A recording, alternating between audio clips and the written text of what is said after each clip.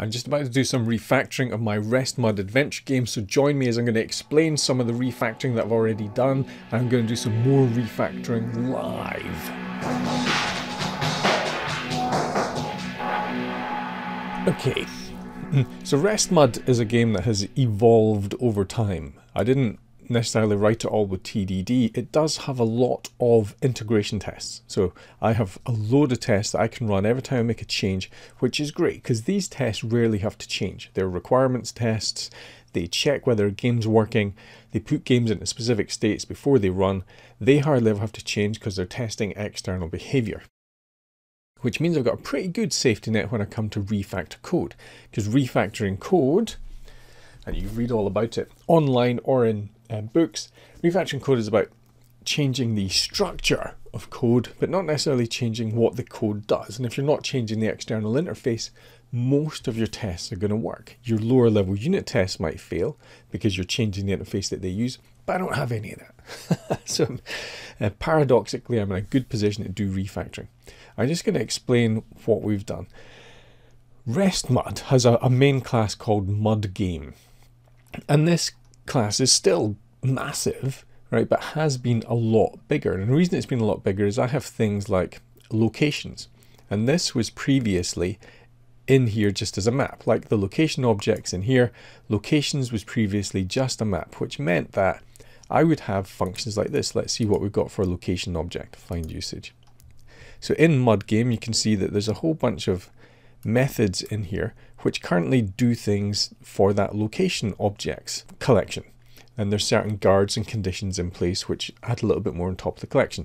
If that location objects was a an object in itself, then I wouldn't need to have all these methods in the mud game and I'd be starting to um, refactor it and chunk it down and make it a little bit slower. I'd also be increasing the uh, semantic structure of the application, making it a lot easier to understand because then we've got objects that manage uh, the, the concepts. So location objects as a class or location things would be the class that manages the collection or maintenance or update, up, upkeeping of all the objects that are in locations in the adventure game. So like clocks or signs on walls, they're all location objects. They belong in a particular location. You can't take them. They're fixed in those locations. That's a special type of object in an adventure game. But at the moment it's wrapped in a map. So I really want to change that. So I'm going to show you what the locations looks like. So in locations, this was a hash map in the RestMud game itself, and all these methods were on the RestMud game. Now they're not. Now it's a little bit easier. It's a lot easier to see what's going on in these. It's a lot easier to see which ones have guards and which ones don't. It's a lot easier to see whether it's making a copy of the, the map. This one doesn't. Some of my um, collection classes make copy of the contents, which makes it very um, thread safe and, and uh, more functional. Some of them don't, so there's potential risk in a multi-user game of getting um, clashes. But I figure that the more that I simplify the code, the easier it will be to identify synchronization points, easier it will be to understand the code, and the code will get smaller and everything will just be much, much better. So what I'm going to do now that we're here is you can see here that I made a decision when I was refactoring the collectibles object that instead of having a get game collectibles method, I put it on a public field. I'm now changing my mind about that. What I want is a an accessor method. Now in IntelliJ and in most IDEs, we have built-in refactoring. So I don't have to worry too much in advance whether I get the code right, because the IDE will help me later on. And the benefit is if I've got a lot of tests, I can use this refactoring and be fairly certain that my code hasn't been unduly affected. So what I'm going to do here is I am going to in, use the encapsulate fields refactoring. And that dialog is going to come up. It's going to say, so this is the um, field game collectibles. I want to have a getter for it. I'm going to ignore the set access. I'm going to use accessors even when field is accessible. We're going to keep the encapsulated field private. The accessor is public. Refactor. So that's changed 46 things in my code. And you can see here that this is now private. Let's find usages. Yes, there we go. I can see that we, in the mud game itself, it's using the get game collectible. In other parts of the game, use the get game collectibles. So I've now got a wrapper around it. That's quite good if I ever want to do lazy instantiation of the game collectibles rather than set it up in here. Because this isn't necessarily a great way of testing the mud game because I can't um, inject these dependencies. I don't have a lot of options, they're created there. But now that I'm wrapping this in a method, I have more options about how this can be set up. I could do lazy instantiation if it's not set up. I could set it up by passing in uh, dependencies in the constructor when I construct the mud game if I want to. I have more options. So let me now do the same for this. In fact, what we should do first is run all the tests. I've done refactoring. What I need to do is run all the tests and make sure that that hasn't failed. Now, I have a lot of tests here, but they only take, what, 8 seconds to run. So I can run these pretty much all the time whenever I want. And these check um, pretty much every class in passing. Some of them are direct unit tests. There's four games in here, and this checks that all the games can work, which as a side effect checks all the rules and conditions in the game engine. By pulling them out into separate classes, I have the ability then to go in and do more specific unit testing. The act of refactoring also highlights little bugs, and over time this will gradually make um, RESTMUD a better coded application. So I'm going to do the same thing here. Refactor, encapsulate fields. I just want the getter on there, private public, that'll do, refactor. And again, if I'm not happy with anything here, I can change it later on because it's just refactoring. And I got a test failure. Why was that?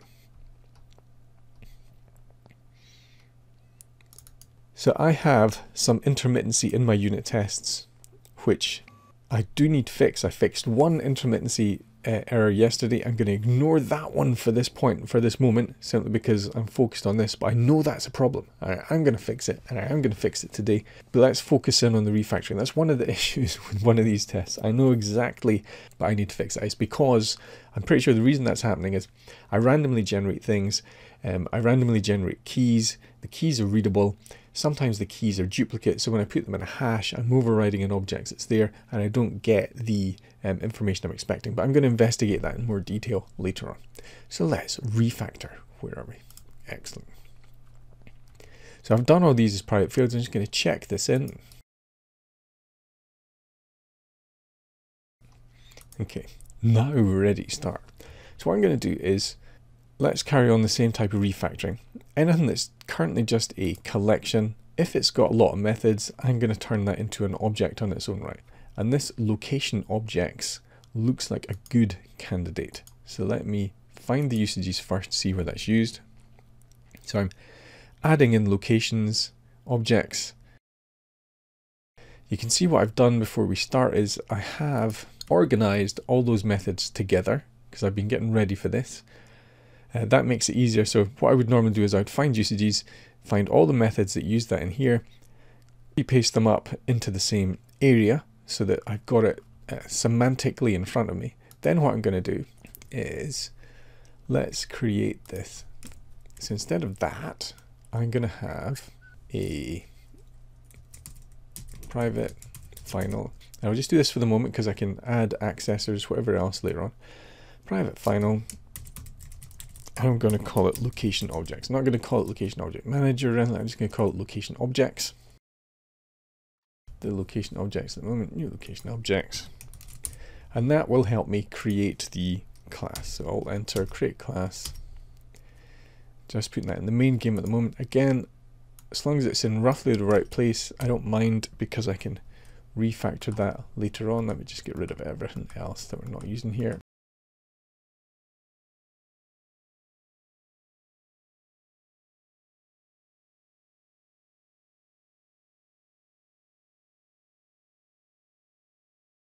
So what we've got is we've got a global set of location objects which help me make sure that they all exist, then references to them in the locations themselves. This is a valid thing to have at the game level because it's working on two different objects. This is saying for this game, make this correct. So all I'm really going to do here is delegate off the management of the location objects into that location object. It seems very small, right? It seems like a very small thing. All I'm going to do is add things into a collection, get them back. But it's a specific collection of location objects. So in theory, the game locations objects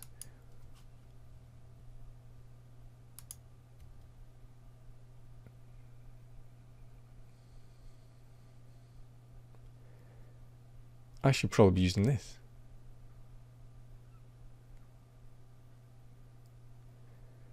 So what we're seeing now is as I refactor it into a particular object, I already have a class that represents this. I don't even need to do this refactoring. What I should be doing is refactoring to this, and this should probably um, have a changed name because there's no way this is inventory of location objects. Right, so what I'm going to do, change tact. This is important, right? What we've done is, as we started to refactor, we've found duplicate code. So I am going to unwind this a little bit. I'm just going to delete this. This is probably not what you're supposed to do. This location objects is going to be inventory location objects.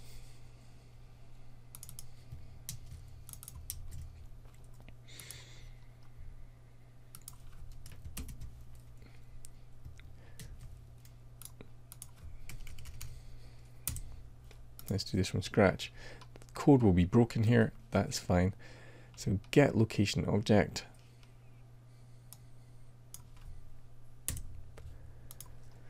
Get location objects dot add item.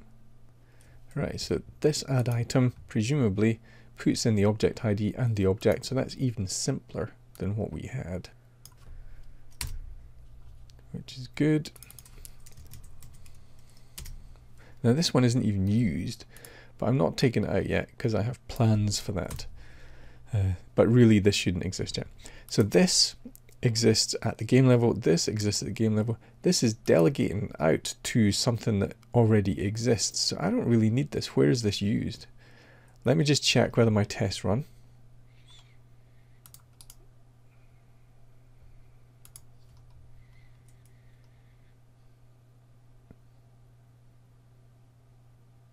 Okay, let's find out where this is used. So that is used in there, in game dot get location object. What I need to do, we've got this. What I'm going to do is I'm going to create an accessor for it. We didn't do that. So let's refactor, encapsulate fields, create the accessor. That should now be used in here. There we go, get location objects. Now what I can do is, anywhere that we're using this, I can just use the get location objects directly. So I'm just going to inline this. That means it's going to get rid of this method and use the game.getLocationObjects location objects directly. Refactor. There we go. So that's not the refactoring I thought I was going to have. But what's great is I have this. I'm going to mark this as a to-do.